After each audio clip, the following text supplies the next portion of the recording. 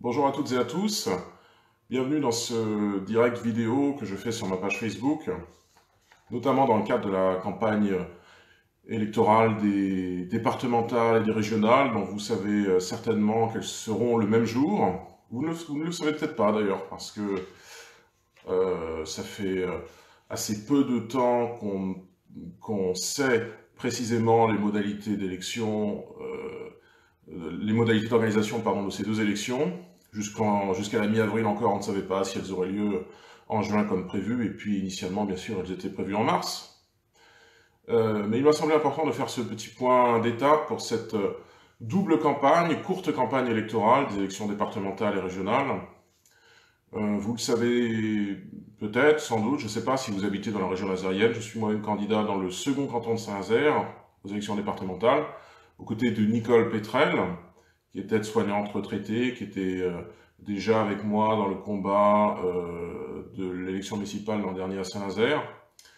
Et euh, dans le même temps, eh bien, je suis enthousiaste à l'idée de porter Hervé Juvin, je l'espère, à la présidence du Conseil régional des Pays de la Loire. Je suis également donc, sur la liste des régionales. Vous avez peut-être vu ce sondage d'opinion qui est paru il y a quelques heures à peine, euh, plaçant Hervé Juvin et la liste Rassemblement National dans les Pays de la Loire à 21% des suffrages exprimés, c'est-à-dire euh, à peu près notre niveau de 2015 finalement, alors qu'on pouvait avoir des, interrogations, à tout le moins, sur euh, eh bien, quelle serait la mobilisation des électeurs, ici et dans d'autres régions.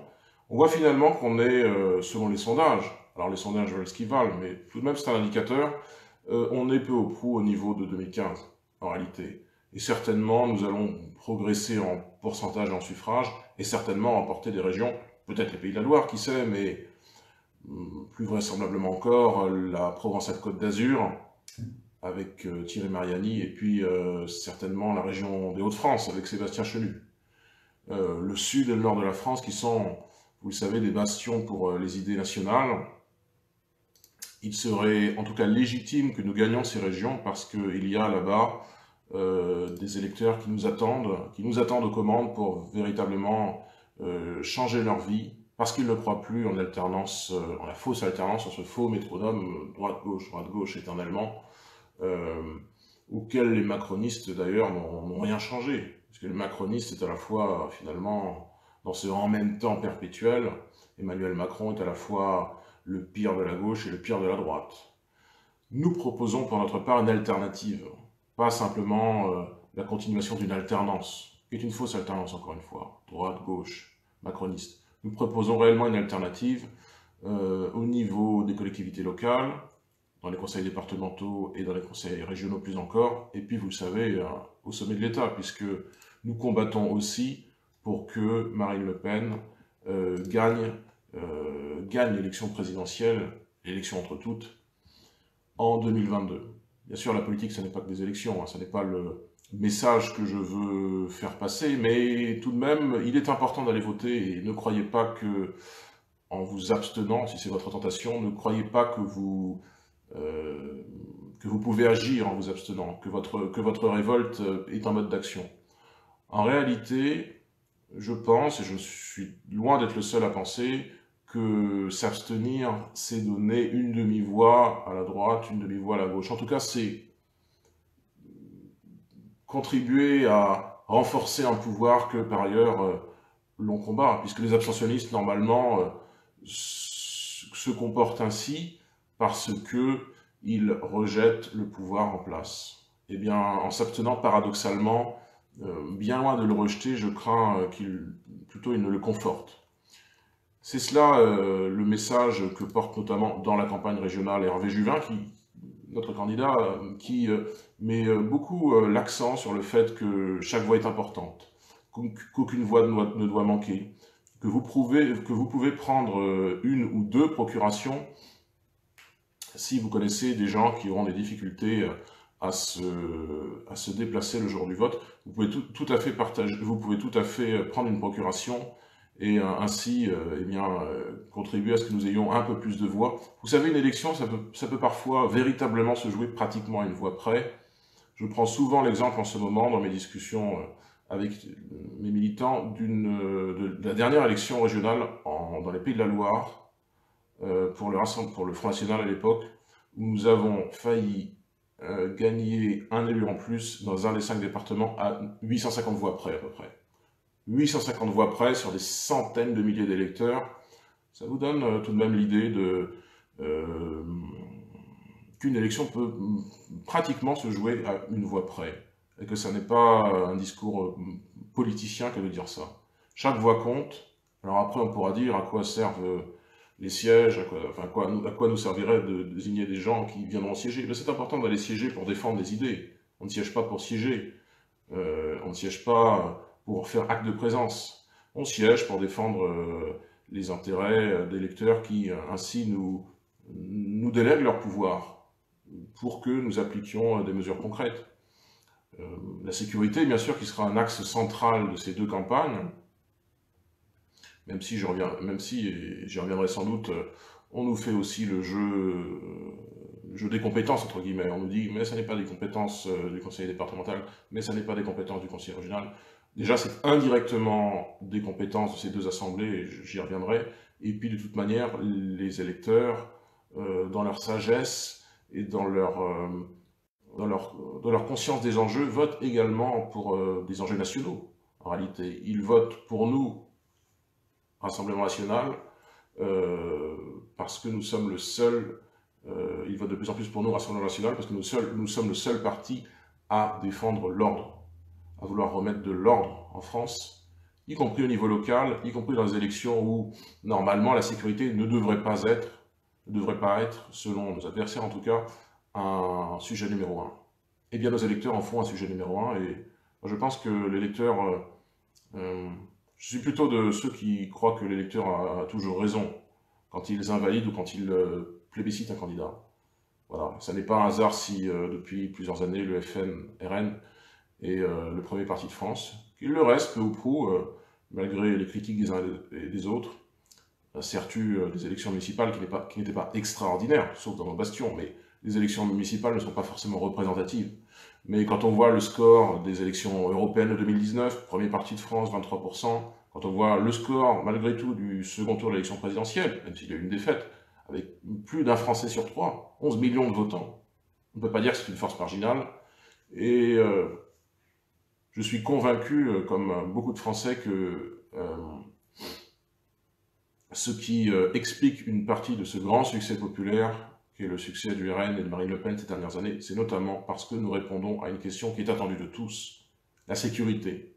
La sécurité au sens large, euh, qui va de la, qui va des problèmes euh, concrets, prosaïques j'allais dire, mais pas tant que ça, cambriolage, de vol à la tire, de vol à l'arraché, euh, au, problème de la sécurité, l'insécurité culturelle des Français. Les Français sont-ils encore chez eux?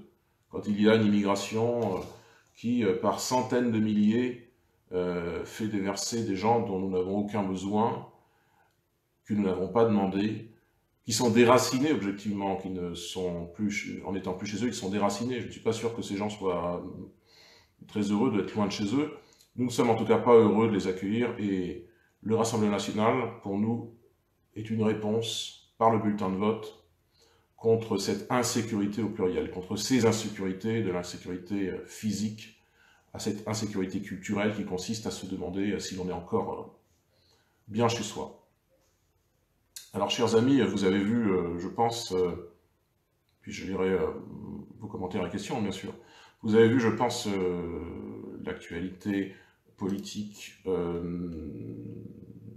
nationale qui est plutôt en notre faveur dans les autres régions, Provence-Côte d'Azur, j'ai dit Hauts-de-France, Pays de la Loire également. Euh, nous avons naturellement une actualité euh, politique qui est grandement guidée par les, faits d'insécurité spectaculaires tels qu'il y a eu depuis, depuis des années en réalité, mais qui se sont accélérés, intensifiés depuis ces derniers mois. Vous avez tous en mémoire euh, le tragique assassinat euh, de, Samuel Paty. Dans le dernier, dans le dernier direct vidéo que j'ai fait, je crois que c'était le 3 novembre, euh, c'était donc après l'assassinat de M. Paty, j'en parlais déjà, et je, nous étions déjà dans une phase d'accroissement des faits, ce ne sont pas des faits divers, là, pour le coup, des, faits criminels d'insécurité, qui sont la plupart du temps imputables à des gens qui sont fichés S, terroristes islamistes, parfois étrangers, parfois binationaux. il y a tout de même une corrélation entre l'islamisme, le fondamentalisme islamiste, et une grande partie des actes terroristes en France. Euh, mais à la rigueur, ce que je dis devient une banalité maintenant, parce que ça a commencé à entrer dans la discussion courante, alors qu'avant c'était assez mal vu de le dire, et c'était, on pouvait passer un peu comme un, prophète de mauvais augure.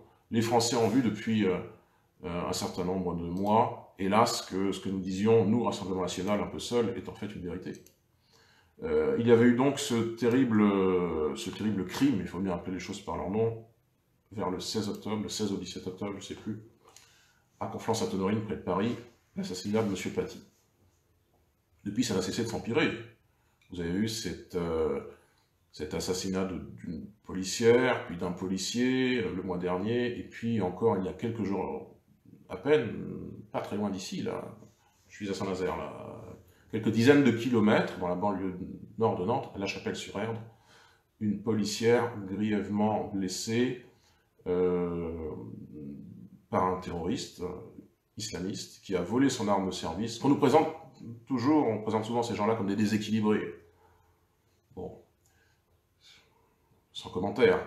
Euh, on nous dit que ce déséquilibré aurait ensuite volé son arme de, service, puis blessé avec l'arme de service de, la policière il a poignardé les gendarmes qui étaient venus l'interpeller et finalement le, neutraliser. Bon, ces faits criminels euh, dont, on a du, dont on a du mal d'ailleurs euh, à, euh, comment dirais-je, qui, sont si nombreux maintenant dont on a du mal à faire une, comptabilité. Je ne sais pas si on va faire ce, type de comptabilité macabre, mais ça devient même difficile d'en faire la liste. Sur le temps long, depuis 2012, depuis les, les, vous savez, ces tueries qu'il y a eu dans ces écoles euh, juives de, Toulouse, jusqu'aux attentats euh, plus récents, en passant par euh, cette séquence 2015-2016 avec les attentats islamistes contre Charlie Hebdo, l'hypercacher, l'attentat de Nice, Saint-Quentin-Falavier, cet attentat en Normandie, là je ne sais plus où, contre un, prêtre, et puis bien d'autres attentats dont je n'ai pas le souvenir exact, à Vienne, à Bruxelles, ça devient difficile d'en faire une comptabilité complète. Si ça devient difficile, c'est que ces, attentats sont hélas de plus en plus nombreux et l'on compte désormais en France des centaines de morts, euh, des centaines de morts du fait de cette forme de terrorisme-là, en particulier qui terrorisme islamiste. Hélas, l'actualité nationale, c'est en partie ça. Et ce faisant, euh, ça a des conséquences politiques qui sont euh, que les Français conçoivent les autres partis comme de plus en plus illégitimes, les autres partis que le RN, comme de plus en plus illégitimes pour résoudre ces, questions de sécurité intérieure, et euh, conçoivent en retour le RN comme de plus en plus légitime pour apporter des réponses politiques concrètes, pour remettre de l'ordre, et ceci, encore une fois, sans, sans hystérie, sans extrémisme, simplement avec un langage posé qui consiste à dire les choses, à observer le réel et à dire le réel. De nos principale différence, je pense, avec la classe politique, c'est que nous voyons le réel, nous le restituons ensuite dans notre parole publique. Lorsque Marine Le Pen s'exprime dans le média, que fait-elle sinon dire le réel en réalité? Que fait-elle sinon euh, dire ce qui ne va pas en France, proposer des solutions qui sont notamment euh, simplement l'expulsion euh, des terroristes fichés S, et puis des peines de prison qui soient réellement beaucoup plus fortes. La perpétuité, mais la perpétuité réelle, notamment pour les actes de terrorisme, notamment pour euh, ces gens qui, euh, qui tuent des policiers, qui tuent des gendarmes, qui tuent des pompiers parfois. La perpétuité réelle, pas simplement euh, des peines symboliques avec des aménagements de peine, avec cette facilité de croire que peut-être les radicalisés d'hier seront les déradicalisés de demain. Non, c'est du... peut-être qu'il y a des cas comme ça, mais non, ce serait l'exception, et la majorité, c'est que ces gens qui sont des fanatiques, qui, sont, qui pratiquent un, islam fanatisé, comme une version euh, euh, extrêmement rigoriste de cette, euh, de cette, de cette religion, ces gens-là, qui, ces terroristes-là, qui font la guerre contre notre pays, ne seront pas sensibles à des stages de, déradicalisation. Et ils ne, comprennent, ils ne comprennent, peuvent comprendre qu'une chose, euh, c'est que euh, eh bien, les peines soient beaucoup, plus, soient beaucoup plus fortes. Enfin, je ne sais pas réellement s'ils seraient sensibles à ça, mais en tout cas, c'est ce que nous devons faire.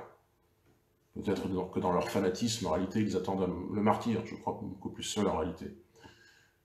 Mais euh, nous ne devons pas entrer dans leur jeu en en, faisant des martyrs. Nous devons être beaucoup plus fermes, être beaucoup plus attentifs à qui nous nous faisons venir en France en réduisant drastiquement les flux migratoires en France il serait légitime de... Beaucoup de Français le pensent, de, réduire de moins 90% les flux migratoires en, France, parce que ça devient ingérable et ça porte de nouveaux risques, notamment des risques euh, sécuritaires, parce que nous accueillons énormément de monde dont nous ne savons pas toujours quelles sont les motivations. Voilà pour un point de vue un peu national de l'actualité, de triste actualité euh, française qui forcément a des conséquences sur euh, ce que, ce que veulent les Français, ce que perçoivent les Français des grands enjeux et comment ils envisagent, notamment par le vote, et parce que nous sommes démocrates, nous croyons au vote, comment envisagent-ils eh bien, de, faire savoir au pouvoir euh, qu'ils ne comptent plus se laisser euh, égorger, blesser, tuer impunément et qu'il compte redevenir un peuple souverain? Nous sommes, je le crois, au Rassemblement National, cette force qui permettra aux Français de redevenir souverains, redevenir euh, forts et indépendants chez eux. C'est pour ça que nous nous présentons systématiquement aux élections, que nous, jouons ce jeu électoral. On nous reproche parfois de jouer le jeu électoral. Quel, jeu, quel, autre jeu y a-t-il? Prendre le pouvoir par la rue, comme euh, ne l'ont pas fait d'ailleurs, comme on croit qu'ils allaient le faire les Gilets jaunes, ça s'est fini, vous le savez, en, capilotade, quelles que pouvaient être les, bonnes intentions initiales d'une majorité de Gilets jaunes. Pas tous, mais d'une majorité. Non, le pouvoir, en réalité, il se prend en France euh, par les urnes, par le bulletin de vote, par le suffrage universel, conquête de haute lutte.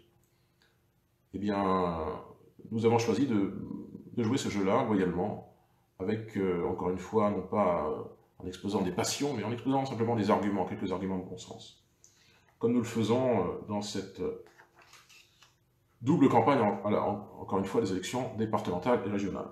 Pour revenir sur les élections départementales, vous n'êtes peut-être pas familier de quelles sont les compétences, par exemple, d'un département. Euh, pourquoi votons-nous Nous votons donc pour élire les 20 et 27 juin, dans toute la France, les assemblées départementales qu'on appelle les conseils départementaux.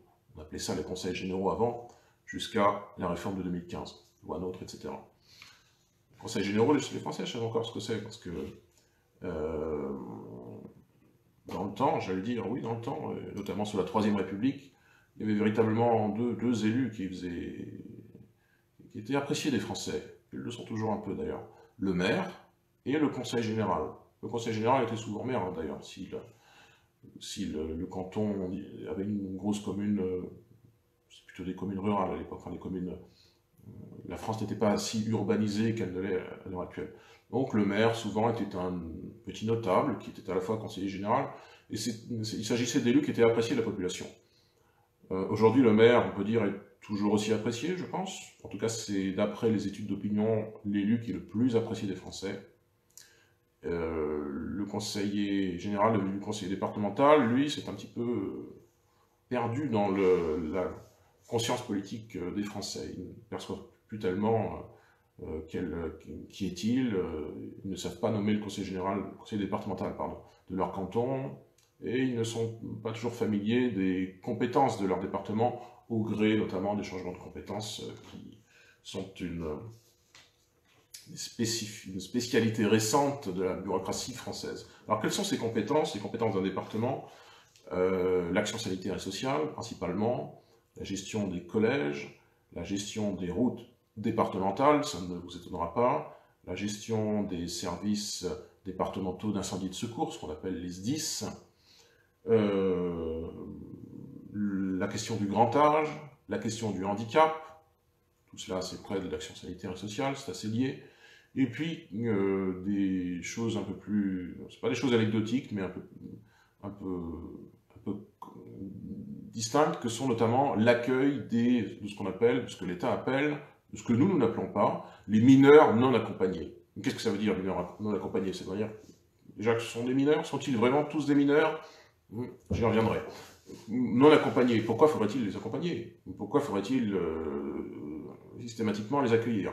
En réalité, ces mineurs non accompagnés, que nous, au Rassemblement national, nous traduisons par euh, mineurs, entre guillemets, certains le sont bien sûr, beaucoup le sont, mais euh, la majorité ne le sont pas.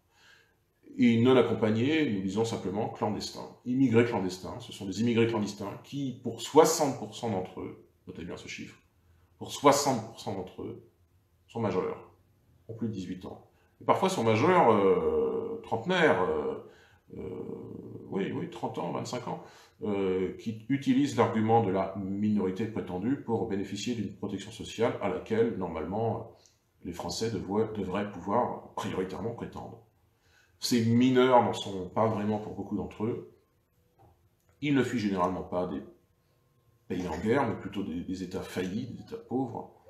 Euh, euh, et surtout, euh, ils, sont pour beaucoup d'entre eux des hommes. Ce ne sont pas des familles qui viennent, ce sont des hommes attirés par un système de protection sociale, encore une fois, qui est beaucoup plus généreux que ce à quoi ils pourraient prétendre dans leur pays. Ces mineurs non accompagnés sont donc des, des clandestins, et pour cette raison, nous disons que nous ne pouvons plus les accueillir, que nous devons revoir la politique d'accueil de ces personnes, parce que combien coûte-t-il à la collectivité? Il coûte à peu près, ils coûteront à peu près en 2021, selon l'Association des maires de France, selon un rapport de, de l'AMF, à peu près 3 milliards d'euros par an. Vous pouvez faire le calcul pour un conseil euh, départemental, euh, en moyenne, c'est donc à peu près 30 millions d'euros par an de dépenses uniquement pour accueillir ces personnes, dont, encore une fois, les Français n'ont, dans la majorité, pas fait, euh, pas fait la demande.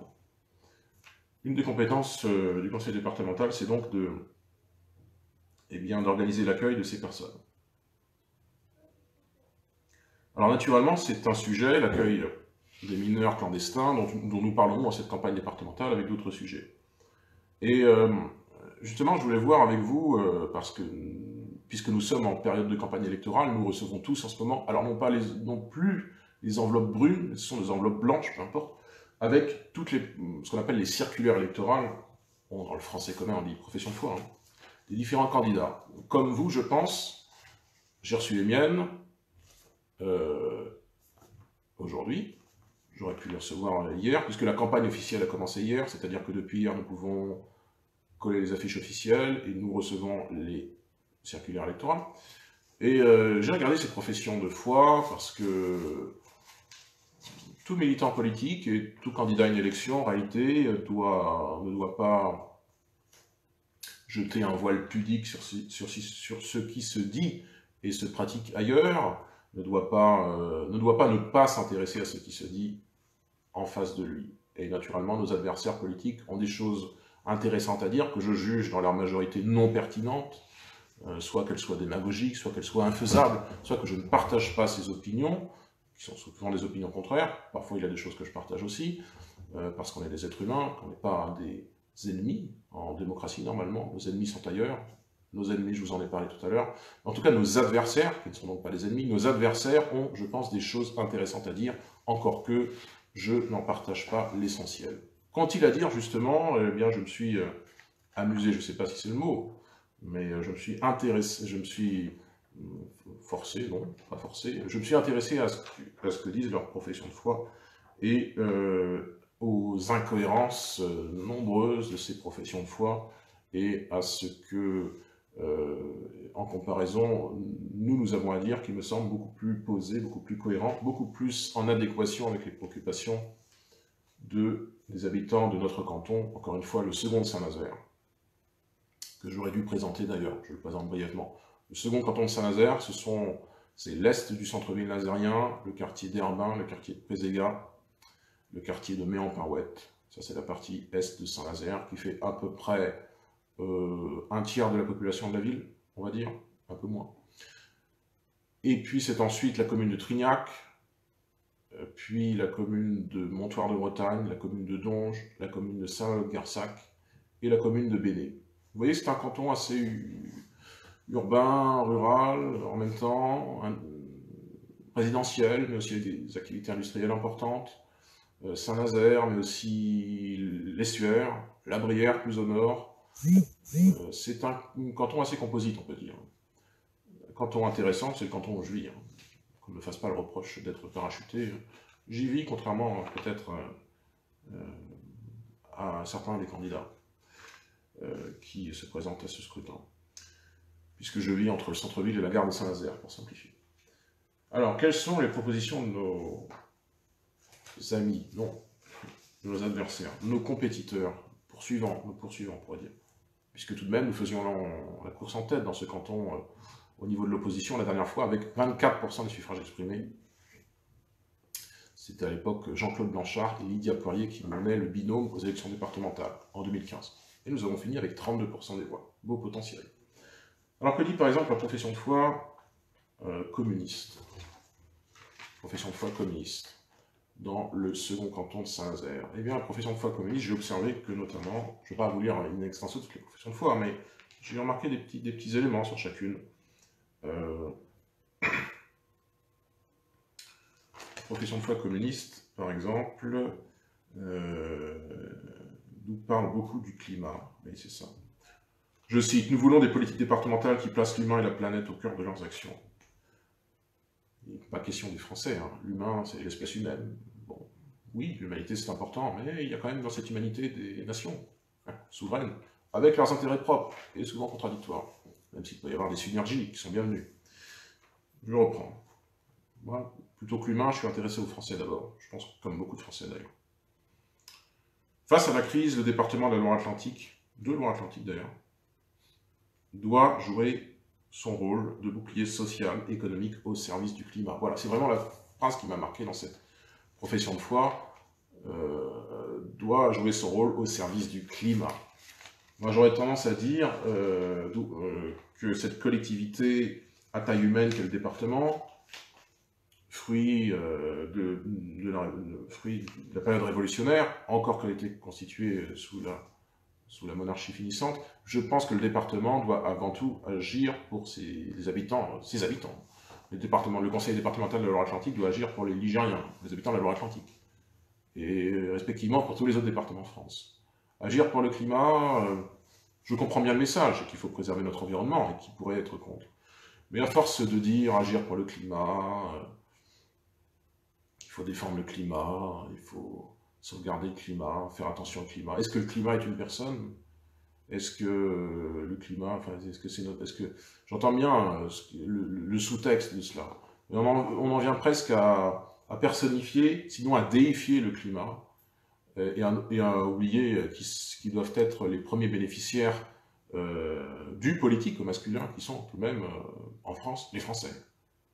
Donc défendre les Français d'abord, et moi j'aurais tendance à, si je refaisais cette partie du tract à dire euh, euh, face à la crise, le département de la Loire-Atlantique doit jouer son rôle de bouclier social, économique, pourquoi pas, au service de ses habitants, euh, et non pas de, causes écologistes, de causes faussement écologistes, qui sont plutôt du, greenwashing, comme on dit, le fait d'habiller en vert des, choses qui n'en sont pas forcément de cette couleur-là. Euh, parce qu'elle participe à la continuation du système existant. Euh, moi, je serais davantage pour parler des habitants de la Loire-Atlantique d'abord, de leurs intérêts, du fait qu'ils doivent être bénéficiaires, encore une fois, de l'accès aux emplois, de l'accès à la protection sociale, de l'accès au logement, prioritairement, plutôt que de dire que nous allons, par cette élection ou d'autres, sauver les habitants de toute la planète et tous les peuples du monde, que nous ne pouvons pas accueillir chez nous parce que nous ne pouvons pas accueillir toute la misère du monde, comme disait l'autre. C'est le Premier ministre qui disait ça.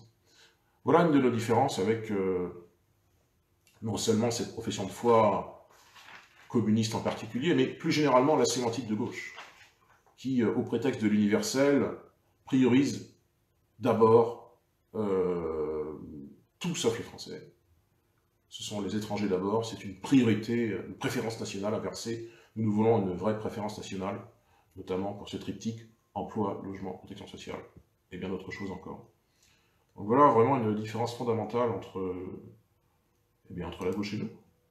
Entre la gauche, une gauche euh, mondialiste, on peut dire, même si elle se prétend parfois altermondialiste, et puis euh, nous autres nationaux, nous autres patriotes, qui avons la France au cœur et les Français comme euh, priorité de notre, de notre combat politique. Alors quant à la profession de foi, euh, là on va aller dans l'inverse complet du spectre politique. quant à la profession de foi, macroniste. Euh, d'un drôle de binôme macroniste qui, me semble, qui bizarrement n'inclut pas le modem, comme si le, c'est une petite force le modem, mais comme si le modem avait fait cavalier à, part. C'est République En Marche, Territoire de Progrès, un petit parti donc, que personne ne connaît, et vous sans doute pas, plus, pas beaucoup plus que moi. Je saurais à peine vous dire ce que c'est. C'est un petit parti centriste. Et puis Agir, qui sont, vous savez, cette, cette partie de la droite qui a opportunément rejoint Emmanuel Macron il y a il y a 4 ans. Que disent, euh, que disent les, macronistes? Euh, Bon, c'est bien difficile de, dire ce de vous dire ce qu'ils disent. Euh, moi, ce qui m'a marqué le plus, c'est tout de même qu'ils disent sont dans une forme de, lieu commun, en fait, qu'ils disent essentiellement des banalités, que mm, tout candidat sensé, toute formation politique rationnelle devrait, devrait proposer, et de fait propose. Parce que, de quoi nous informe-t-il? Que leurs priorités sont notamment, je cite, lutter contre les violences faites aux femmes. Qui serait contre ça? Qui est contre ça et qui ne le propose pas? Évidemment qu'il faut lutter contre les violences, notamment, spécifiquement les violences faites aux femmes. Euh... Mieux informer les adolescents des risques du cannabis. Euh, évidemment, euh, que dire, que dire, que dire. Alors c'est amusant, c'est plutôt tragicomique. Augmenter l'employabilité en simplifiant les démarches. pour ce qui est des démarches, on ne peut pas dire que le pouvoir macroniste ces derniers, ces derniers mois ait facilité les choses, notamment, vous l'avez tous vécu avec les, ces, ces, sortes d'auto-attestations que nous avons eu à dont nous avons eu à cocher les cases pour dire que nous nous autorisions à sortir de chez nous pour telle ou telle raison, de telle à telle heure si, ça c'est de la simplification de démarche, euh, je veux bien, mais bon. C'est un peu un double, un double discours. Développer les réseaux routiers, évidemment, personne n'a dit le contraire. Lutter contre la, lutter contre la lourdeur administrative, euh, c'est à la fois banal et ça n'est pas vraiment ce qu'ils font depuis 4 ans. Les macronistes, ça c'est certain. Et soutenir les festivals, évidemment. Oui, c'est un peu vague, c'est un peu vague, et ce sont des, banalités qui s'enchaînent de la part de candidats qui ne sont pas très implantés, dont je doute qu'ils puissent figurer au deuxième tour de l'élection. Même si euh, je ne pas que le RN y sera mécaniquement, hein. il ne faut pas avoir cet optimisme-là, au prétexte que nous y avions été il y a six ans. Et tout de même, euh, les macronistes, euh, si les électeurs votent en fonction des programmes, ce n'est pas toujours le cas, parce qu'il y a plusieurs euh, motivations qui entrent dans le secret et l'intimité d'un vote. Mais enfin, si les électeurs votent pour des programmes électoraux, je doute qu'ils plébiscitent celui des macronistes, ici, dans le second canton de Saint-Nazaire et dans la majorité des cantons de France. Voilà pour la profession de foi de la reine. Alors encore euh, totalement à l'inverse euh, dans le spectre politique, que dit une profession de foi comme celle des insoumis? Que dit la profession de foi insoumise? Vous dites peut-être que j'ai fait une erreur, parce que j'ai déjà présenté la profession de foi communiste tout à l'heure. Non, c'est pas une erreur, c'est que vraiment il y a euh, deux candidats distincts, comme souvent en France, ce sont des gens qui, contrairement aux nôtres, ne sont, ne sont pas unis, qui sont divisés, euh, et qui ensuite nous parlent, euh, enfin, se parlent entre eux, ils ne parlent pas tellement à nous de l'unité de la gauche, de l'union de la gauche, qui est leur mantra en quelque sorte et qu'il euh, préfère visiblement à l'unité des Français, au passage. En tout cas, il y a dans notre canton, le second de Saint-Nazaire, comme dans beaucoup de cantons français, deux euh, candidatures de gauche radicale, peut-on dire. Le Parti communiste et France Insoumise. Que dit donc la profession de foi insoumise? Deux choses qui m'ont marqué, C'est notamment cette histoire de mineurs non accompagnés, comme, moi et beaucoup, je refuse de dire. Mais sur, les, sur ces mineurs clandestins, la profession de foi des Insoumis dit euh, très clairement qu'il faut, je cite, pour nos enfants, développer les accueils dédiés aux mineurs non accompagnés. Euh, voilà, c'est clair, si vous, si, vous si vous votez pour France Insoumise, euh, pourquoi pas, ce n'est pas mon point de vue, mais enfin si vous voulez le faire, vous voterez pour ça, objectivement, pour renforcer le financement euh, de l'accueil des mineurs clandestins, pour renforcer l'immigration clandestine. C'est-à-dire vous, vous voterez en connaissance de cause. Euh, et puis, quelque chose d'autre qui m'a marqué, qui est, un peu, qui est un peu lié à ce sujet des mineurs clandestins, c'est que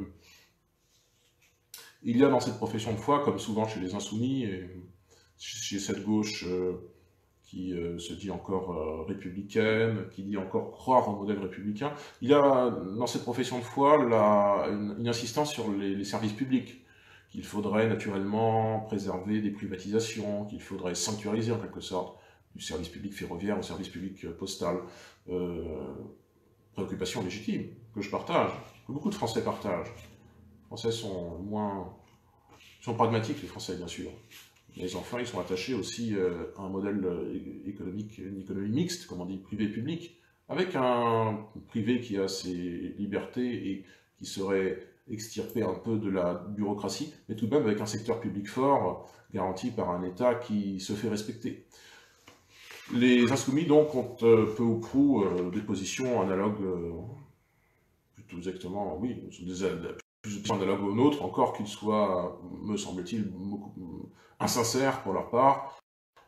surtout, ils ne perçoivent pas la contradiction interne de leur message. C'est-à-dire qu'ils disent à la fois plus de services publics, défense des services publics, sanctuarisation des services publics, et d'un autre côté, immigration de masse, accueil de toute la terre, sans restriction, sans, restriction, sans contrôle. Nous disons pour notre part que c'est soit service public garanti, retraite garantie aussi d'ailleurs. Notre modèle social tel qu'il est, tel que nous l'avons bâti depuis ces dernières décennies, depuis conquête de la... Pas que le Front Populaire d'ailleurs, on dit souvent le Front Populaire, les monarchies s'en sont préoccupées aussi au XIXe siècle, fin du XIXe siècle. Mais enfin, ce modèle social français, euh, c'est soit la préservation de ce modèle social-là, soit on bascule vers autre chose, et notamment une société multiculturelle, multiconflictuelle, ce faisant, avec une, forte immigration qui n'a vraisemblablement euh, aucune chance de garantir la pérennité de ce modèle-là. C'est soit ce modèle-là, soit la fin de ce modèle-là. Soit les services publics à la française, soit euh, notamment du fait de l'immigration de masse, notamment du fait de la partition de la société française, eh bien, la multiplication des opérateurs privés qui feront euh, l'électricité, l'eau, la santé, les transports publics, des anciens transports publics des Français, mais euh, sans garantie de prix, sans garantie en termes de normes sécuritaires et sans garantie en termes de normes environnementales également. Ce sera soit les services publics à la française, soit le marché tout puissant et l'immigration règne. Voilà, ce sera ces deux choses-là, euh, l'une ou l'autre, mais pas simultanément, à notre sens. Et euh, faisons bien attention à ce à quoi nous exposons si nous allons vers cette société de partition où l'immigration serait devenue massive et où le marché euh, sans contrôle serait tout puissant, où l'État n'existerait, pour ainsi dire, plus, il ne régulerait plus rien. Cet euh, État un peu hybride et paradoxal, euh, enfin cette, France un peu hybride et paradoxale, c'est la France des Insoumis, hein, qui est euh, très généreuse sur tous les plans, et qui ne se rend pas compte de ses contradictions internes. Et la gauche est habituée à ces contradictions. C'est ce pourquoi nous ne sommes pas des hommes de gauche, nous ne sommes pas des femmes de gauche, parce que nous avons saisi que derrière le message généreusement généreux de la gauche, il y avait un faux progressisme en réalité, et une somme de contradictions qui ne peut entraîner que eh une forme de déclin globalement de la société, et une forme de, de nivellement par le bas. C'est ce pourquoi nous sommes essentiellement des nationaux, des patriotes, que nous croyons en la pertinence euh, des États-nations au pluriel et en la pertinence du projet français. Et nous croyons la France essentielle à l'ordre du monde. Nous ne tenons pas la France comme une chose négligeable de par sa culture, son histoire.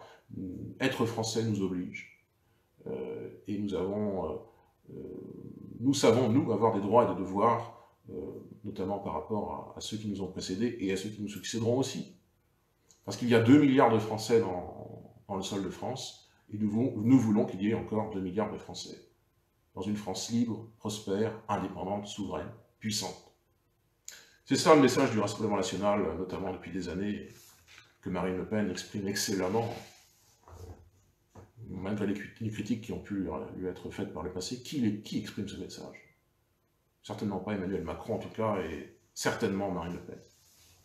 Et puis, dernière euh, profession de foi pour la route, encore une profession de foi de gauche, parce que nous avons, dans ce second canton de Saint-Nazaire, huit candidats de gauche, huit candidats de gauche, euh, c'est celle des socialistes, du maire adjoint socialiste de Saint-Nazaire, que je veux bien être obligé de citer par son prénom pour que vous le situez bien, euh, Monsieur Séché, qui a été dont j'ai été le contradicteur euh, durant six ans au conseil municipal, avec d'autres élus, et notamment le maire de Saint-Nazaire.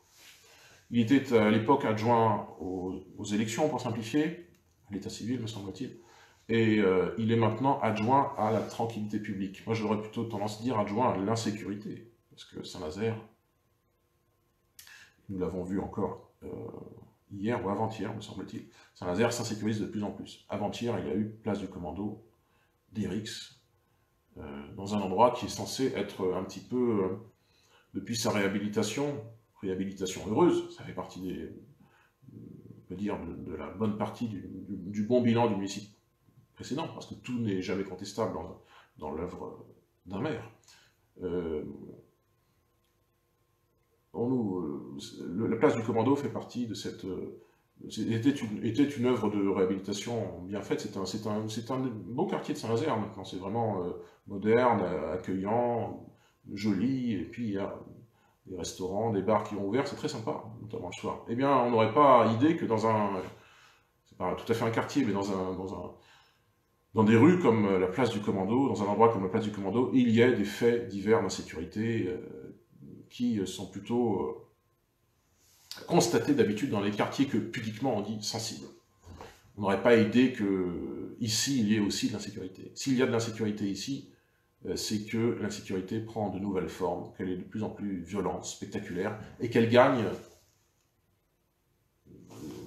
le cœur, y compris le cœur battant de nos villes, y compris les endroits un peu plus touristiques, comme ici, place du Commando. Donc soyons vigilants, encore une fois, sur pour qui nous votons, parce que de cela, eh bien, nous déterminerons en partie l'avenir de Saint-Nazaire, l'avenir de notre canton. Alors, cette profession de foi socialiste, deux choses qui m'ont marqué. Une, pas si anecdotique que ça, mais sur laquelle je vais, euh, que je vais évoquer brièvement, c'est qu'elle est écrite, elle est en écriture inclusive, déjà. Qu'est-ce que l'écriture inclusive? Je pense que vous, commencez à être familier avec ça, à force que les médias en parlent, pas suffisamment, mais ils en parlent. Vous savez, c'est euh, habitant. Je souhaite poursuivre mon engagement au service des habitants. Habitant est écrit habitant.e.s. Euh, il y a d'autres endroits comme ça euh, dans le texte qui, qui présentent cette écriture inclusive à base de petits points. Euh, cette forme d'écriture, en plus d'être totalement étrangère aux usages de l'Académie française, totalement étrangère à la manière dont, on écrit normalement le français, et a en plus cette particularité euh, vraiment euh, mesquine d'être très difficile à lire pour les très difficile à appréhender pour les personnes malvoyantes qui n'y comprennent qui ne comprennent plus rien. Et c'est donc un handicap donné à des personnes qui sont déjà en situation de handicap. Et ça, naturellement, la gauche, par dogme, n'en parle jamais. Parce qu'elle est, encore une fois, euh, les œillères dans son dogme, à se dire que, euh, au, prétexte d'un faux progressisme, il faut mettre euh, de l'écriture inclusive, parce que, pense-t-elle, c'est une manière de, de mieux garantir l'égalité des sexes, comme si la cause légitime de l'égalité des sexes, l'égalité des hommes et des femmes, avait besoin de cette forme euh, particulièrement incompréhensible d'écriture. Bon, vous avez donc compris que nous ne sommes pas franchement pour l'écriture inclusive. Au Rassemblement National, c'est moins qu'on puisse dire. Mais à la rigueur, c'est assez anecdotique cette histoire d'écriture inclusive. Euh, j'ai aussi remarqué qu'il y a euh, sur ce tract euh, qu'il y a la mention intéressante d'une mesure, je cite, un droit d'interpellation citoyenne. Créer, je cite, hein, créer un droit d'interpellation citoyenne permettant de mettre un sujet à l'ordre du jour d'une session départementale. 20 000 signatures issues d'au moins 10 cantons mesure qui est à peu près ce que je pense moi-même, et ce que je pense depuis plusieurs années au conseil départemental, au conseil municipal, pardon, puisque quand j'y siégeais en 2019, j'avais euh, débattu, débattu sur cette question du, droit d'interpellation citoyenne, en contestant la vision apportée par euh, l'adjoint au maire de l'époque, Jean-Luc Séché, donc c'est lui qui est, candidat pour les socialistes, euh, j'avais dit en fait que ce droit d'interpellation citoyenne, à notre sens, était trop restrictif.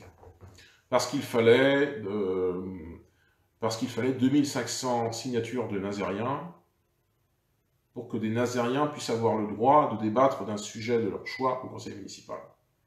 C'est-à-dire, euh, tout de même, 2500, à peu près un, à peu près un électeur nazérien sur 20 à peu près, 4% du corps électoral nazarien. J'avais suggéré qu'il soit que ce seuil de, 2500 signatures soit abaissé à 1000 signatures. Eh bien, j'observe que que j'ai proposé au conseil municipal, en proportion, c'est à peu près ce que propose euh, mon compétiteur socialiste maintenant, puisqu'il propose, euh, propose 20 000 signatures. Et 20 000 signatures comparées à un corps électoral d'un million, million de personnes en Loire-Atlantique, c'est à peu près la même chose que 1000 nazériens pour 50 000 électeurs nazériens. 1 sur 50. 20 000 sur 1 million. 1 pour 50. Euh, pour simplifier, ce que j'ai proposé au conseil municipal de Saint-Nazaire il y a deux ans et qui m'a été refusé, c'est ce que propose maintenant mon contradicteur socialiste pour le conseil départemental. Donc il y a une, une contradiction euh, que je ne m'explique pas, euh, qui peut être du hasard, qui est aussi peut-être de la mauvaise foi. Parce qu'il est évident que tout ce que nous proposons en tant qu'avis d'opposition dans un conseil, municipal, sauf cas d'espèce, était refusé par la majorité socialiste de l'époque. Quoi que nous proposions, c'était euh, refusé, la plupart du temps critiqué, parfois vertement critiqué. Euh, et donc, lorsque nous avons proposé que le droit d'interpellation citoyenne au conseil, au, conseil, municipal de Saint-Nazaire soit abaissé de 2500 signatures à 1000, cela nous avait été refusé, cela avait été critiqué. C'est pourtant à peu près ce que propose euh, l'adjoint de l'époque, qui est maintenant candidat au conseil départemental. Donc, il y a là une contradiction. Voilà pour les professions de foi, les, les principales professions de foi de ce second canton de Saint-Nazaire. La vidéo n'est pas consacrée aux professions de foi pas développer davantage, mais c'était en quelque sorte une mise en bouche pour euh, peut-être parler de ce qui vous intéresse si vous êtes euh, proche du Rassemblement National, ou, non d'ailleurs, si vous êtes euh, simple électeur curieux, ou pas électeur, ou pas de Saint-Nazaire d'ailleurs si vous regardez cette vidéo. Nous allons maintenant brièvement parler eh bien, de notre profession de foi, nous, celle de Nicole Petrel et moi-même, en vue de cette élection départementale autour d'un triptyque de bon sens, de protection, liberté, proximité. Vraiment, ce sont vraiment les trois mots que nous mettons en avant dans cette campagne localement, euh, qui nous différencient tout de même de beaucoup de, beaucoup de candidats dans euh, les, dans les différents cantons. Et je vais vous lire pour le coup la profession de foi in extenso en entier, notre profession de foi.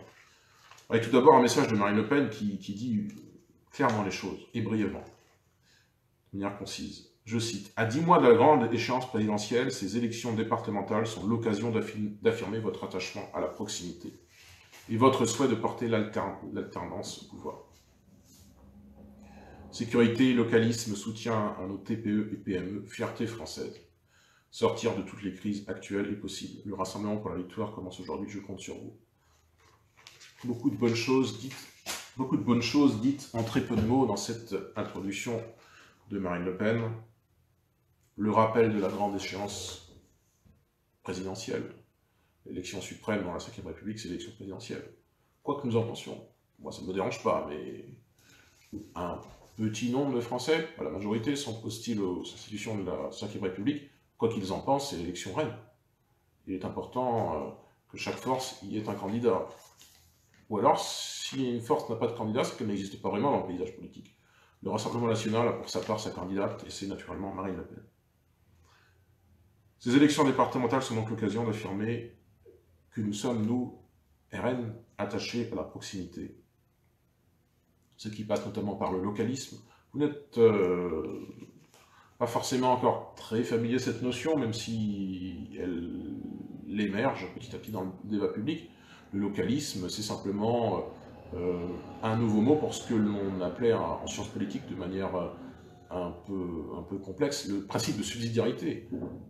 Agir au bon niveau, agir à la bonne échelle, localement quand il faut agir localement, à un niveau national quand il faut agir euh, nationalement, c'est pourquoi nous croyons à l'État-nation, et puis entre ces deux extrêmes, si je puis dire, il y a un échelon auquel nous sommes très attachés, et d'autant plus, et d'autant plus dans cette euh, échéance électorale actuelle, quel département? Le département est un peu l'intermédiaire entre la commune, l'échelle locale, et l'État-nation. on pourrait aussi considérer qu'au-delà des collectivités politiques, si je puis dire, politiques au sens du police, hein, de la cité, au-delà des collectivités politiques, nous sommes aussi attachés dans les collectivités humaines, à la famille, qui est un petit peu l'équivalent de la commune, qui est un peu l'équivalent de l'échelle locale. Voilà, nous sommes attachés aux bonnes choses, à la bonne échelle. Eh bien, le localisme, qui est euh, vraiment la pierre angulaire du projet présidentiel de Marine Le Pen, tel qu'il est esquissé, de plus en plus euh, théorisé, de plus en, plus, précisé depuis la séquence des élections européennes de 2019, ce localisme, c'est par exemple euh, produire, consommer, recycler au plus court, sans plus les chaînes d'interdépendance interminables qui nous font dépendre, de, pays lointains euh, dont nous ne connaissons pas forcément quelles sont les normes de production, le respect des normes environnementales, mais nous faisons confiance à ces pays parce qu'il y a la tentation du moindre coût. Eh bien nous disons que le moindre coût a un coût social en réalité, que faire fabriquer euh, un jean par exemple, ou un téléphone portable, ou de n'importe quoi euh, très loin, même si ça coûte peu cher au final, ça coûte en termes de chômage, en termes de délocalisation d'usines, en termes de désindustrialisation, ça coûte à ce qu'est la France, et ça empêche la France d'être elle-même finalement, et ça rend ça participe à affaiblir notre pays, à affaiblir, à affaiblir les Français. Nous disons que le, dumping social, comme on dit, en économie, euh, nous disons que la tentation du moindre coût est une tentation venimeuse, vénéneuse, vraiment, qu'il y a un poison dans cette tentation, qui est que finalement, elle est plutôt quelque chose de nuisible pour la France. Même si elle fait... Euh, certainement le bonheur, encore que ce soit un bonheur relatif, des nouveaux pays industrialisés, euh, Bangladesh, euh, Vietnam, etc., qui sont producteurs de ces, de ces, biens. Ces biens qui sont produits là-bas, même s'ils sont moins chers dans le porte-monnaie, font tout de même, d'une certaine façon, le malheur des Français parce qu'ils induisent du chômage, ils induisent des délocalisations, ils induisent de la désindustrialisation, et donc un affaiblissement de nos territoires.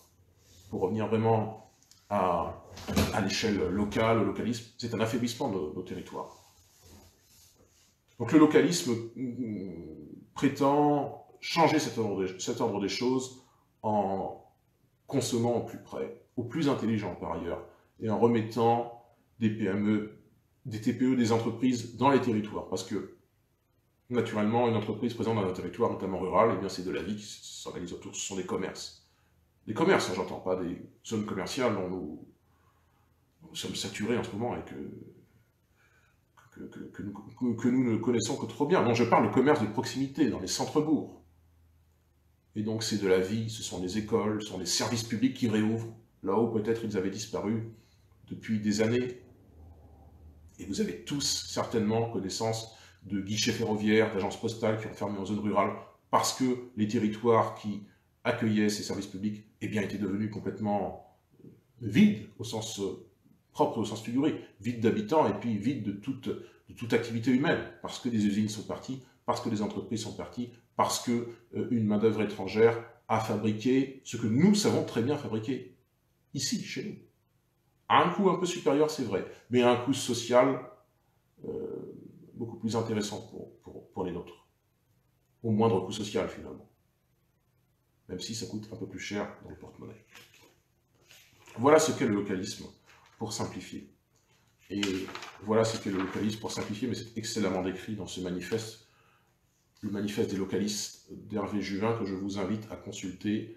Je ne pense pas qu'il existe beaucoup d'impressions physiques, mais vous l'avez sur Internet. En une cinquantaine, pardon, en 70 pages, vous avez tout résumé sur ce qu'est la pensée localiste, théorisée par Hervé Juvin. Je cite euh, les chapitres qui parlent de même. Que vivent nos territoires, démocratie retrouvée, confiance et sécurité, vivre et travailler au pays. Vraiment, c'est ce que je viens de dire. Vivre et travailler au pays. Plus belle la France, une économie sur ses pieds, du libre-échange au juste échange, très important. Une ambition sociale, la France, l'État, le droit. Transmettre l'excellence, locale d'abord, associer les Français, une sorte de nouvelle participation en quelque sorte, pour reprendre peut-être la sémantique gaulienne, je ne sais pas. Je n'ai pas encore eu le temps de lire entièrement ce chapitre et rendre son sens au travail. Comment rendre leur dignité aux travailleurs, sinon en remettant les industries, remettant les entreprises, remettant de l'emploi chez eux. Un emploi dont ils seraient les premiers bénéficiaires dans une priorité nationale bien comprise, qui favorise les Français d'abord. Voilà un peu le principe de notre politique, qui localement s'axe en cinq mesures. Je poursuis la lecture de la profession de foi enfin en cinq mesures, en cinq grands axes, on peut dire, ce ne sont pas tout à fait des mesures, ce sont des choses très générales mais très vraies. Premièrement, un euro dépensé par le département sera un euro en faveur de la qualité de vie des Français, oui bien sûr, et pas la qualité de vie des autres, étrangers euh, euh, que nous ne désirons pas forcément sur notre sol. Et euh, le deuxième axe est connexe à cela. Deuxièmement, nous refuserons l'accueil des migrants et leur prise en charge par le département. Ça reprend tout ce qui a été dit précédemment dans cette vidéo sur l'accueil des mineurs clandestins. Troisièmement, nous lutterons contre la fraude sociale afin que les aides bénéficient aux Français dans le besoin. Songez que la fraude sociale en France coûte 30 milliards d'euros par an, selon les estimations. 30 milliards, une trentaine de milliards, on ne sait pas exactement à plusieurs milliards d'euros près, une trentaine de milliards d'euros dont les Français euh, sont dépossédés parce qu'il y a une fraude sociale. Quatrièmement, nous renforcerons dans notre département la sécurité dans les collèges et leur environnement. Cinquièmement, nous favoriserons la culture et l'identité de notre département identité composite ici qui est euh, un peu bretonne aussi, il faut bien le dire, même si nous ne sommes pas forcément sur les positions des, régionalistes bretons, bien sûr. Euh, nous n'avons pas besoin du débat sur les cinq départements, les quatre départements de la Bretagne pour euh, savoir que la Loire-Atlantique, culturellement et historiquement, est bretonne. C'est une évidence. Et nous avons cette identité composite, ici, localement, Saint-Nazaire dans l'estuaire et, la Brière, une identité un peu essuarienne, maritime, briéronne, ouvrière, populaire, nazérienne pour tout dire. Et c'est vraiment quelque chose qui nous, qui nous, qui nous caractérise ici, dans, cette, dans cet ouest du département, entre la, entre la, entre la presqu'île et le sillon. C'est vraiment ce qui nous caractérise. Cette, euh, cette, importance du travail industriel, encore une fois, qui n'est pas, pas une image d'épinal, même si nous avons beaucoup moins d'industrie qu'avant, beaucoup moins de voyers au chantier naval, que l'industrie va, va, va et vient, on peut dire, que le, contexte n'est pas toujours certain, même s'il y a parfois, comme il y a eu en 2016, 10 ans de carnet de commandes. Mais enfin, euh, c'est vraiment que l'industrie est vraiment, je pense, euh, s'il fallait décrire l'identité de la région nazarienne, c'est l'industrie. S'il fallait objectivement parler, définir dans, quelque essai politique que ce soit, quelle est l'identité nazarienne? C'est notamment l'industrie, c'est notamment l'identité ouvrière, la force du syndicalisme, quoi que nous en pensions, c'est véritablement un marqueur sur le temps long, le temps long, en tout cas depuis un siècle et demi, de l'histoire nazarienne. Même si nous considérons que les socialistes ne représentent plus, comme ils ont pu le faire il y a des décennies de cela, euh, la, défense de, cet acquis-là, de cette, identité, hein, de cette identité populaire ouvrière nazérienne. Et même si nous considérons bien sûr que les syndicalistes ne la représentent pas davantage, les syndicats majoritaires, notamment la CGT, ne sont pas, loin s'en faut, les défenseurs des intérêts des Français. Voilà. Voilà, chers amis, pour les élections départementales, qui seront, encore une fois, simultanées à d'autres élections sur lesquelles je vais revenir, que sont les élections régionales. Le 20 et 27 juin, nous aurons donc deux élections simultanées. Est-ce que ça s'est déjà produit dans l'histoire, d'ailleurs?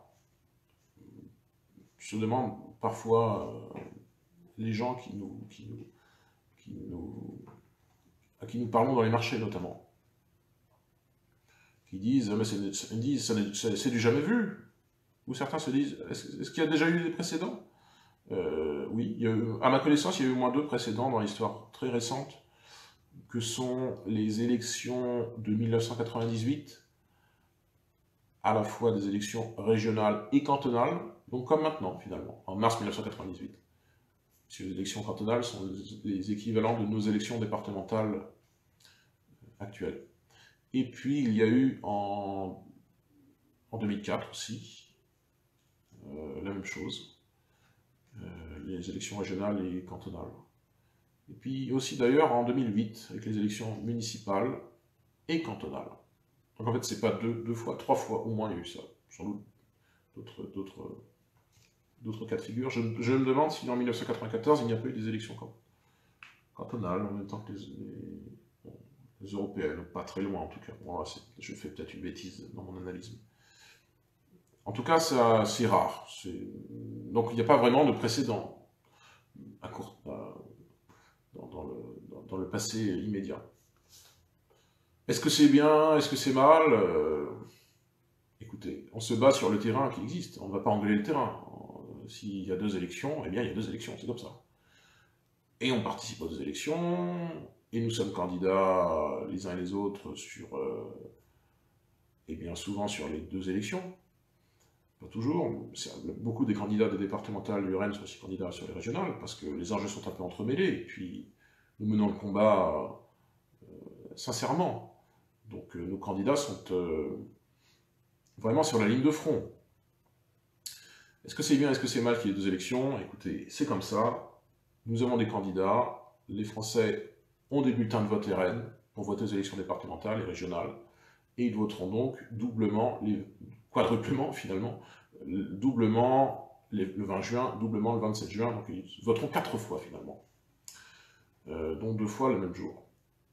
Pour ce qui est des élections régionales dans les Pays de la Loire, notre candidat tête de liste est donc Hervé Juvin député au Parlement européen depuis 2019, essayiste, euh, vraiment un spécialiste euh, notamment de l'écologie des civilisations, qui est une vision de l'écologie très différente de celle des euh, écolos institutionnels, rouge-vert, décroissants, extrême gauche, etc.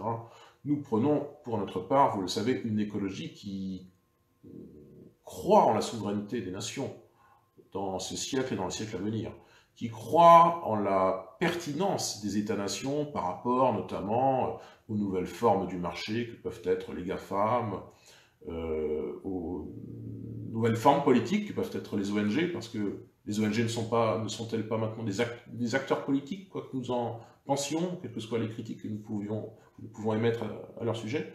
Nous pensons que la forme la plus pertinente euh, au XXIe siècle, ça reste encore la forme d'organisation collective des sociétés humaines au XXIe siècle, ça reste encore les États-nations.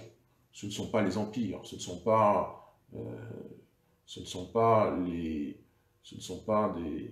Peut-être pour certains États des fédérations régionales, c'est bien leur choix, mais pour je dis pour nous, Français en tout cas, c'est l'État-nation France, euh, avec ses départements notamment, ses 101 départements, et non pas ces super régions incompréhensibles, on n'y comprend rien. Euh, vous comprenez quelque chose, vous, à la Nouvelle-Aquitaine?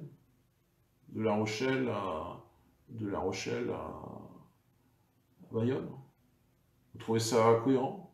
Vous pensez que ça correspond à un ensemble culturel, historique qui aurait une pertinence? Non.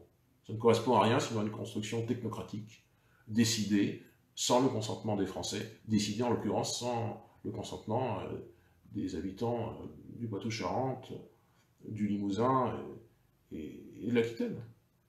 Voilà. Et les exemples sont légion, comme ça. Quand Laurent Jacobelli, notre candidat dans le Grand Est, parle de trop Grand Est, il ne fait pas qu'une touche d'humour, il dit quelque chose de vrai, c'est que la fusion de l'Alsace, de la Champagne-Ardenne et de la Lorraine après la réforme territoriale de 2015 a abouti à une région qui est trop grande, trop Grand Est, et en plus sans, sans gain en termes de gain en termes de coût, puisqu'on a plutôt fait des doublons et un surcoût euh, en termes d'impôts locaux notamment, plutôt que des économies, alors qu'on nous promettait sans arrêt de la rationalisation, du pragmatisme, des régions plus petites mais plus, intelligentes, plus agiles dans la mondialisation, etc. Et tout le, tout le baratin habituel, non. Au final, on a eu des régions plus lourdes, plus coûteuses, et moins, moins efficaces, ou pas, pas plus efficaces pour beaucoup d'entre elles, et on a eu euh, eh bien, euh, tout le contraire de ce qu'est le projet français, qui est un projet, je suis désolé de le dire, d'État-nation avec un État, des communes, nos 36 000 communes auxquelles nous sommes attachés, et des départements auxquels il faut garantir des prérogatives fortes, notamment l'action sanitaire et sociale, la gestion des routes. Euh, c'est important que ces choses-là soient entreprises. Et j'en ai trop peu parlé, mais on pourrait, dans les départements, activer par exemple une compétence euh, qui est une vraie compétence de sécurité, qui est l'aide pour les municipalités en termes d'équipement des polices municipales, en, termes d'équipement de vidéoprotection. Ça, un conseil départemental peut le faire. Naturellement, les conseils départementaux qui sont dirigés par la gauche ne le font pas par dogmatisme. Nous, nous le proposons en Loire-Atlantique et tous les cantons, tous les candidats RN le proposent dans tous les départements. Pour revenir au régional et pour revenir à Hervé Juvin, donc, spécialiste de l'écologie des civilisations. Une forme d'écologie concrète, rationnelle, posée, loin de l'extrémisme des Verts auxquels nous sommes euh, habitués, euh, dont nous sommes un peu lassés depuis les dernières années. Nous sommes engagés dans ce combat aux côtés d'Hervé Juvin pour, comme le dit le titre de notre tract, une région qui, une région qui vous protège véritablement. Une région qui soit efficace pour protéger les intérêts de ceux qui y habitent, les habitants de la Loire-Atlantique, du Maine-et-Loire, de la Vendée, de la Sarthe, de la Mayenne. Que tout ne soit pas concentré autour de la métropole nantaise, qu'il y ait un frein porter à cette métropolisation sans fin qui concentre les fonctions de commandement, les infrastructures, les richesses, la vie culturelle, la vie économique, la vie touristique, essentiellement autour de la région nantaise. Euh, pour vous donner une anecdote qui est révélatrice, je pense, de cette métropolisation à la nantaise, mais ça, touche en réalité toutes les, grandes villes euh, françaises. Un journaliste, dans une conférence de presse que nous organisions à la Baule il y a quelques heures de cela, demandant à notre candidat Didier Vernet, à nos candidats Didier Vernet et Dominique Duterte, ce qu'il pensait de la vie culturelle, et alors que M. Vernet leur parlait euh, des folles journées, euh, la journaliste a, dit que tout de même, euh, les folles journées avaient été délocalisées à Saint-Nazaire, que c'était une opportunité, que c'était quelque chose de positif pour les Nazariens. Bien sûr, il est tout à fait positif, nous sommes heureux d'avoir les folles journées à Saint-Nazaire. Ça apporte quelque chose à notre vie culturelle, on ne peut pas le nier. Et les folles journées, pour ceux qui ne sont pas familier de ce que c'est, parce qu'il serait loin de la, Loire-Atlantique, par exemple, c'est un, un, festival de musique classique. Et nous sommes heureux à Saint-Nazaire d'avoir les folles journées, qui existent à Nantes initialement, mais qui viennent régulièrement à Saint-Nazaire. Mais la question de la journaliste était formulée de manière implicite, sans, sans, doute qu'elle s'en rende compte. Euh, implicitement, cette question disait que c'était quelque chose de positif que la métropole de Nantes, dans sa, je ne sais pas, dans sa sagesse, daigne délocaliser une partie de ses activités culturelles dans les territoires en dehors de la métropole de Nantes. Et à cela, nous avons répondu, c'est bien qu'il y ait la journée à Saint-Nazaire, mais pourquoi n'y a-t-il pas plus d'événements culturels locaux, décidés par les acteurs culturels locaux qui savent quelles sont les spécificités, les typicités culturelles, les attentes du public dans leur territoire, pourquoi euh, ne faire venir que des choses de Nantes Dans une forme de colonisation culturelle, on peut dire, de métropole.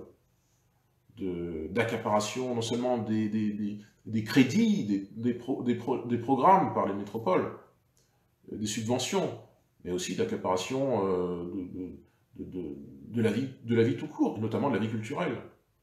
Ce qui fait qu'il y a le métropole et le désert autour, un peu par analogie à ce que disait ce célèbre géographe dans les années 1940 sur Paris, le désert français. On pourrait maintenant dire euh, les métropoles et, le, et, le, et, les déserts aux alentours. Parce que c'est vraiment ce qui se produit euh, avec la métropolisation, et c'est une des choses que combat euh, spécifiquement le programme localiste le programme, euh, le projet d'Hervé Juvin au niveau régional, avec cette volonté d'un rééquilibrage territorial, qu'il y ait une plus grande harmonie entre l'urbain et le rural, et que les métropoles, la métropole de Nantes en, l'occurrence, cessent de, tout accaparer. Je vais vous lire brièvement le tract, et vous comprendrez euh, vraiment l'essence de notre message pour ces élections régionales. Votez donc pour une région qui vous protège. Les 20 et 27 juin, vous pouvez reprendre le pouvoir votre colère, votre envie de changement, vos projets s'appellent voter. Et pas autre chose. Voter, véritablement. Je poursuis. Si vous voulez rester chez vous dans les pays de la Loire, si vous voulez en finir avec l'insécurité galopante, les déserts médicaux et la précarité, si vous voulez que revivent les territoires oubliés de la métropole, si vous voulez reprendre le contrôle de votre région, de votre quartier et de votre cadre de vie, votez pour la liste conduite par Hervé Juvin avec le Rassemblement National, les localistes, la droite populaire et l'avenir français. Votez pour un véritable projet de région, pour que chaque euro dépensé par la région soit un euro pour vous. Ce qui reprend ce qui est identique à ce que nous avons dit pour les élections départementales. Un euro dépensé, un euro utile. Pour que la région finance la police des transports des zones rurales, la police des transports, des zones rurales et la sécurité pour tous. Pour que la préférence locale donnée aux artisans, aux commerçants, aux indépendants fasse revivre nos centres-villes et nos villages pour un Erasmus des apprentis des formations, proposition originale que nous n'avons pas avant et qui est concrètement l'œuvre d'Hervé Juvin dans cette campagne. Je poursuis. Pour en finir avec la persécution des automobilistes et avec le saccage occasionné par les éoliennes. Saccage de notre nature, notre, notre environnement. Pour une région plus forte, plus belle et plus vivante. Voilà euh, l'essence de ce petit tract très riche, très dense, tiré à 400 000 exemplaires et que nous distribuons actuellement dans les marchés et dans les boîtes aux lettres. Voilà qui euh, résume bien notre campagne, la campagne que nous menons pour les élections régionales. Et encore une fois, vous voterez pour ces élections aux côtés des élections départementales les 20 et 27 juin prochains. Voilà à peu près tout. Je n'ai pas eu de questions ou de remarques, contrairement aux au dernier direct, j'ai l'impression que la fonction de euh, la fonction de commentaire n'a peut-être pas été euh, activée. Peut-être. Ah oui, je l'avais désactivée. Ah là là. C'est pour ça que j'ai pas eu de commentaires. Bon, bah écoutez, tant pis. Euh, masquer les commentaires et réactions. Non, pourtant j'ai l'impression que... Bon, écoutez, peu importe. Voilà pour cette, ce, direct sur les élections départementales et régionales. Je ne sais pas si les commentaires étaient activés ce faisant, mais... Euh, juste pour conclure, dans cette euh, élection départementale au niveau du second canton de Saint-Nazaire, nous allons présenter dans quelques jours, le 7 juin prochain, une quarantaine de mesures locales qui reprennent